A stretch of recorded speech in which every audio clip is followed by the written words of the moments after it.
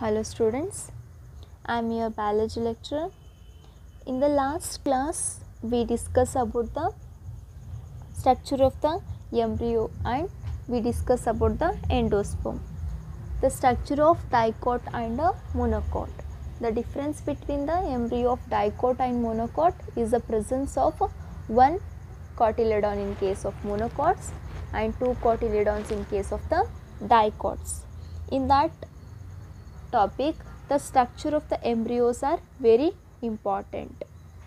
Structure of monocot embryo as well as a dicot embryo. In that one mark questions are uh, what is coleoptile what is coleorhiza what is radicle? Okay explain the structure of monocot embryo explain the structure of the dicot embryo are very important. Okay before that we discuss about the structure of the endosperm which is resultant of a triple fusion that gives the nourishment to developing embryo. Those are the important process in the post fertilization event okay? In this class we can discuss the another very important event which occurs in a post fertilization that is the development of seeds the seed is developed by the the fertilized ovule is developed into the seed. Means after the fertilization only we can see the formation of seeds. Okay? The ovule which is present inside the ovary that is going to be developed into a seed. Okay? The complete ovary is developed into a fruit. Okay? The seed which is present inside the fruit the seeds are always present inside the fruit. Means ovary have the ovule. That ovule converts into a seed. That ovary converts into a fruit. It is very important. Is it will come for a MCQ, MCQ questions. Means multiple choice questions. Okay?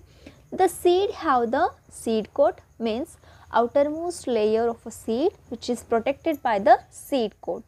Then cotyledon means inside the ovule the embryo is present. Embryo have the embryogonal axis and the cotyledons. Means it is a part of the seed itself. Then embryogonal axis. Means it is a part of a embryo. Inside the ovule you can see the embryo. The embryo which is protected by the seed coat. Hello students. For your clarification and easy convenience. I will draw the small diagram here. It is very important. It will clear all your doubts. You all already know the structure of the carpel. Means it is a female sex organ. The female sex organ having the three parts stigma the function of a stigma already over means it helps in the pollination. It is a site for attachment of a or a landing of pollen grains okay?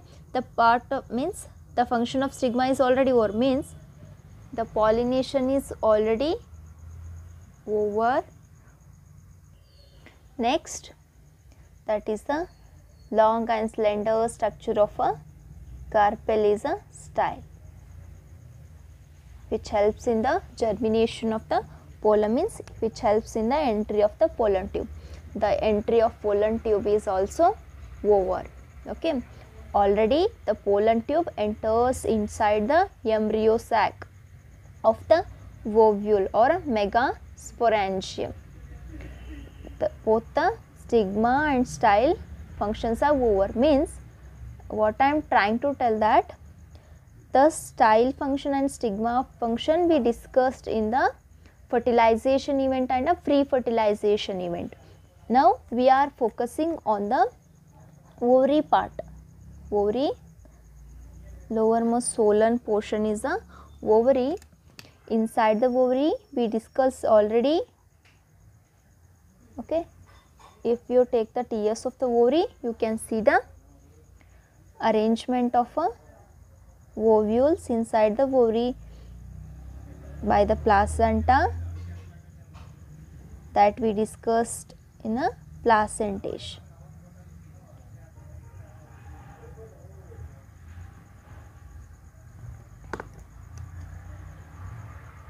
It's like this means now which I am drawing with the red color pen those are the ovules okay the connection the ovary and a ovule by the placenta. This is a ovary wall. Okay, the red color one is a ovule. Then next structure of the ovule. We already know the structure of the ovule. Don't get confused. After the ovule we discuss about the complete structure of ovule. It is like this. Ovule is also called as a megasporangium. Ovule is protected by the two integuments outer integument and a inner integument okay? The innermost tissue which is just surrounds the embryo sac that one is the nucellus. Nucellus is a nutritive tissue which provides nourishment to the embryo sac. Okay? Embryo sac in case of angiospermy plants are a 7 celled and a 8 nucleated.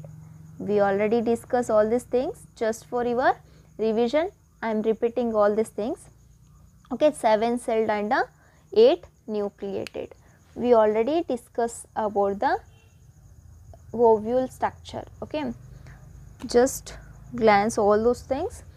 Ovule is protected by two layers integuments, outer integument and a inner integument. A innermost tissue which is just surrounds the embryo sac is a nucleus and in case of uh, angiospermic plants embryo sac is a 8 celled sorry 7 celled and a 8 nucleated okay. The three cells are present at a micropylar region. This one is a micropyle means where the a small opening is present by the absence of integuments okay? The opposite pole of the micropyle end that is the chalazal end. At the chalazal end the three cells are present. Those are a antipodal cells okay? At the micropylar region you can see the two synergids and a one egg nucleus. Then at the center you can see the central nucle central cell. In that two polar nuclei are present. Two polar polar nuclei this is a structure of the ovule. Why we need the structure of ovule means this ovule is going to be converted into a seed. A mature seed and a young seed structure we have to study. That's why the complete ovule structure we have to remember. This is the structure of the seed after the fertilization here the embryo is all also formed inside the embryo sac. And the endosperm is also present inside the embryo sac.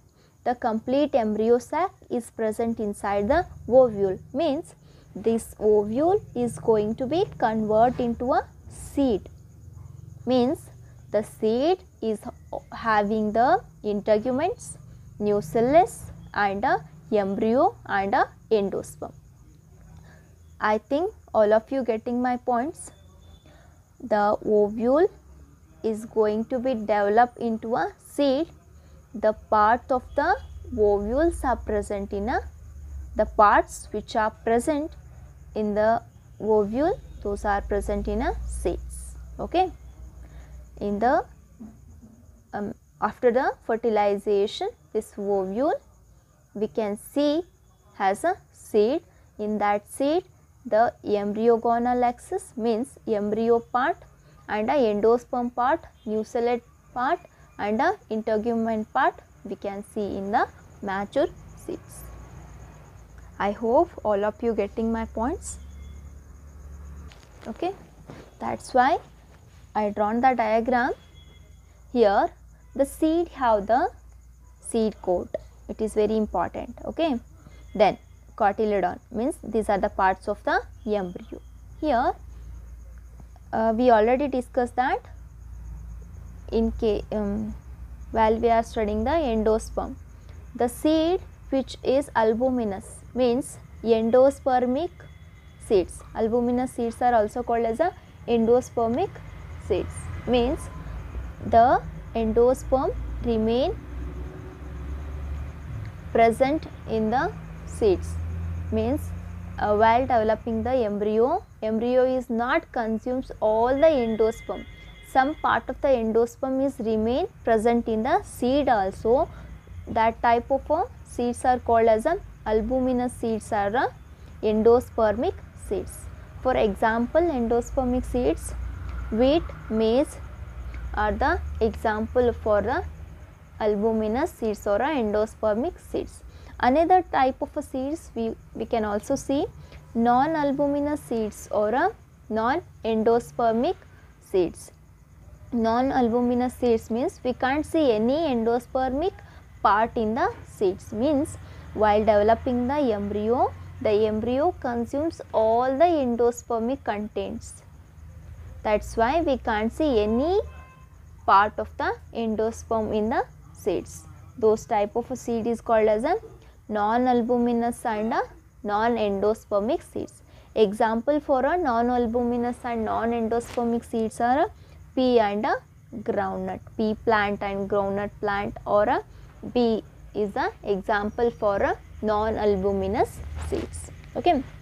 Means uh, if the endosperm is present that seed is called as albuminous. If endosperm is not present non-albuminous seeds.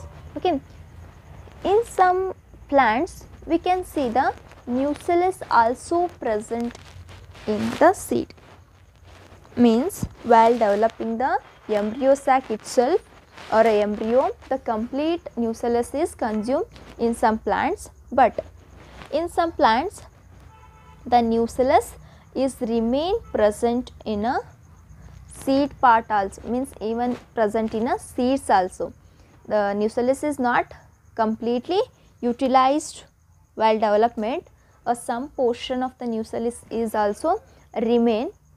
Uh, if the nucellus is present in the seed that portion is called as a perisperm okay? The layer of a remaining or a persistent nucellus is called as a perisperm okay?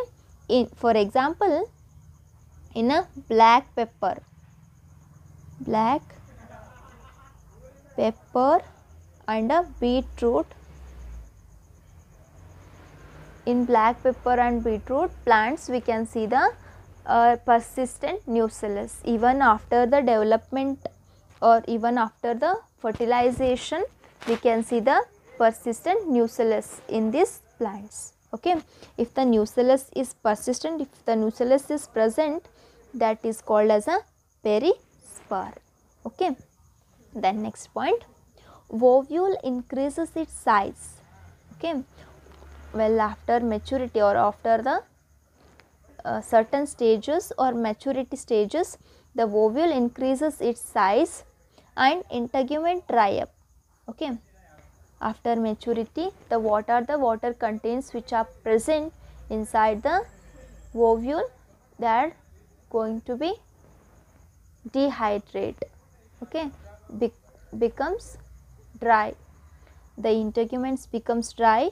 The outer integument become very hard and leathery and forms a outer seed coat. The outer integuments which is a part of ovule that is going to be developed into testa.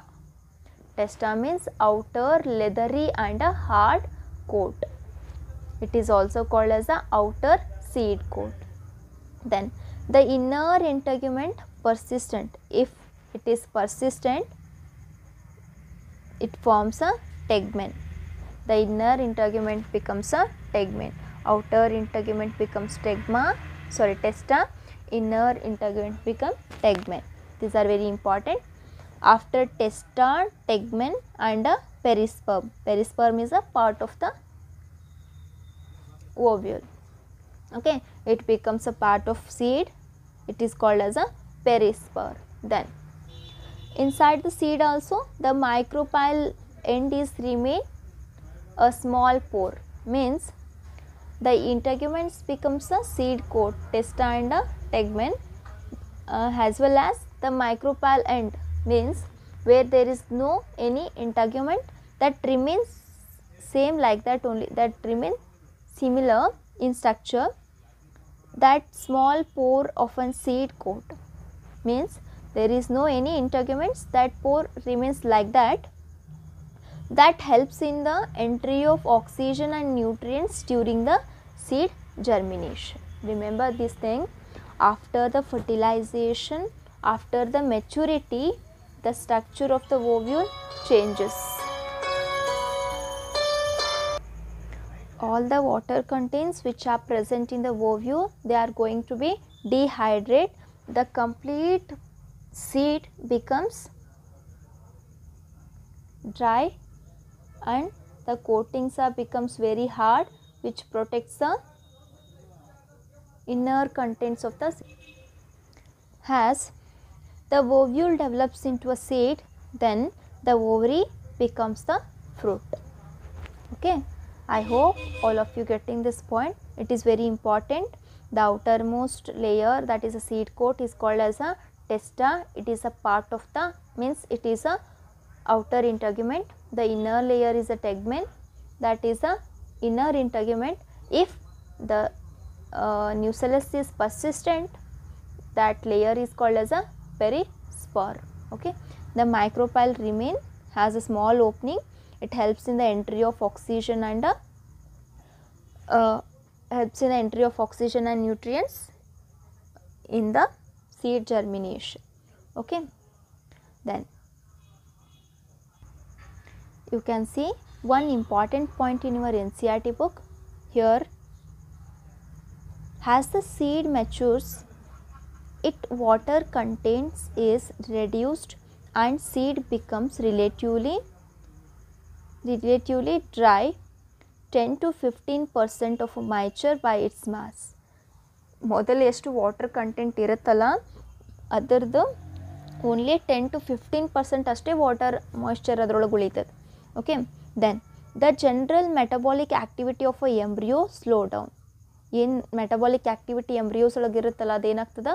ಕಡಿಮೆ ಆಗ್ತು ಅಂತ ಬರುತ್ತೆ. Because are if the favourable conditions are available ಇದೆಲ್ಲ activity dry up ಆಗೋದು ಮತ್ತು metabolic activity slow down ಆಗೋದು we can see only in a unfavorable conditions means where the climatic conditions are non favorable for a germination of a seed then only we can see the dehydration and a, uh, slowdown of a complete metabolic rates then the embryo may enter the state of inactivity called as a dormancy.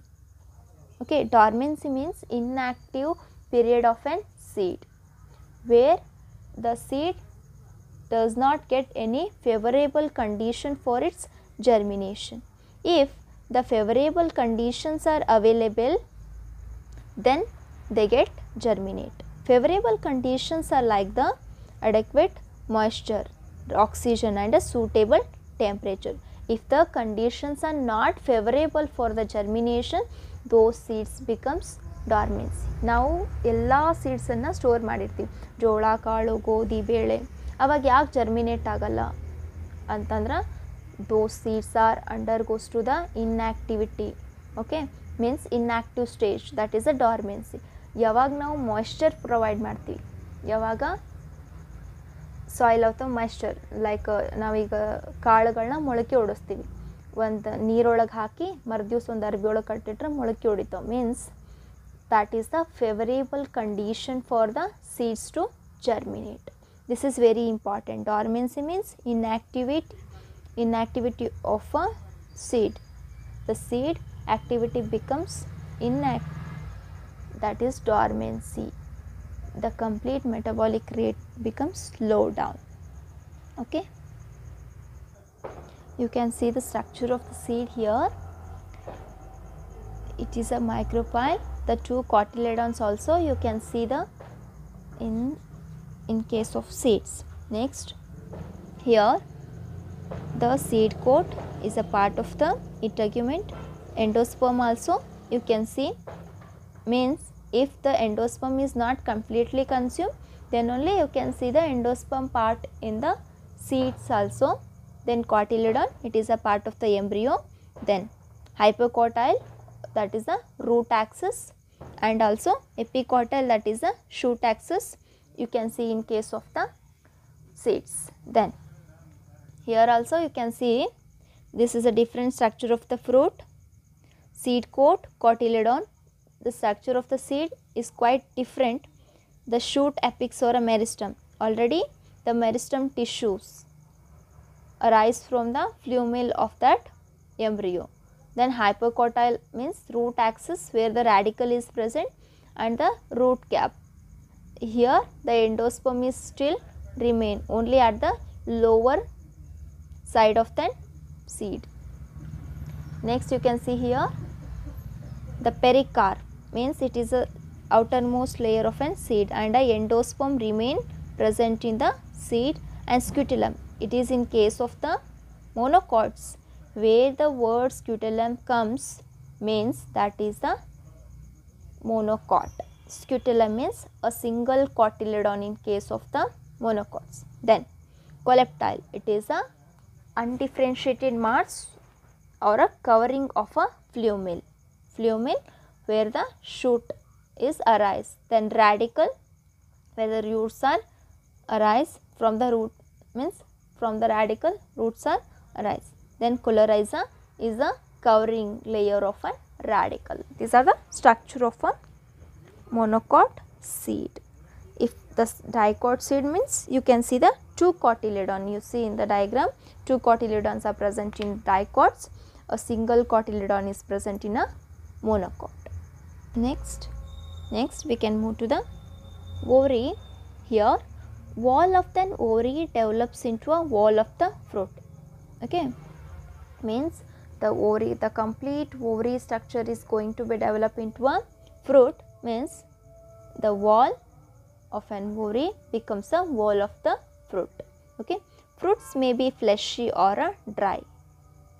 Means we can discuss later words what is fleshy fruit and what is dry fruit means the pulpy contents or watery contents are more in case of the fleshy fruits and dry means dehydrated the water contents are less in case of the dry fruits. Then at the time of fruit development, at the time of conversion of ovary into a fruit or a fruit development, the other floral parts degenerate and a fall off. The remaining other floral parts like a sepal, petal, uh, stamen and a, a style and a stigma are fall off. Only the ovary is going to be develops into a fruit.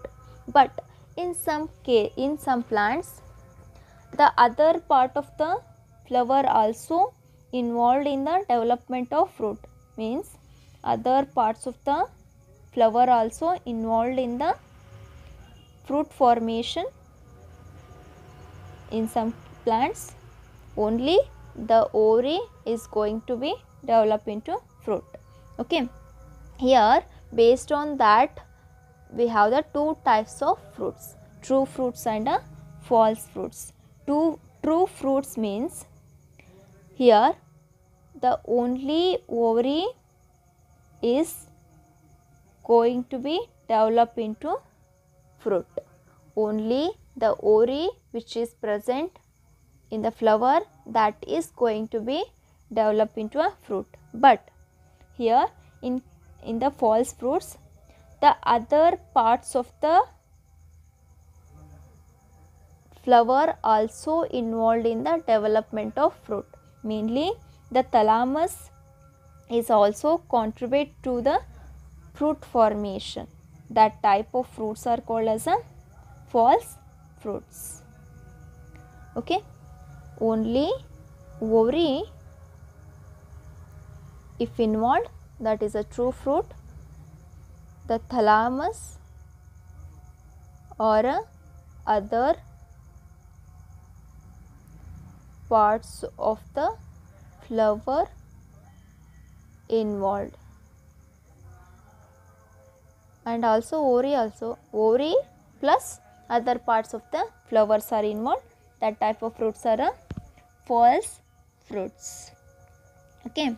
Usually uh, the remaining uh, sepal and petal parts are uh, dehydrate and uh, fall off. Okay. In case of false fruits we can use the example false fruits example like strawberry apple. Or example for a false fruits. Here you can see the thalamus is also a part of the apple fruit. Means along with the ovary the thalamus part is also present in the fruit formation this type of fruit is called as a false fruit. Okay you can see here thalamus. Okay what we are eating okay in the apple that is the thalamus part. Here inside the thalamus you can see the seed.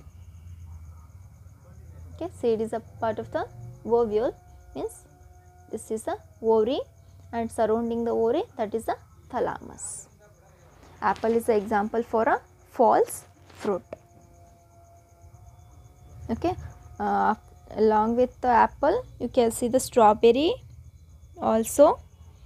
As example for false, false fruit here this thalamus part is also involved in the fruit formation.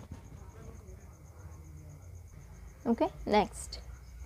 In some plants the fruits are formed without fertilization.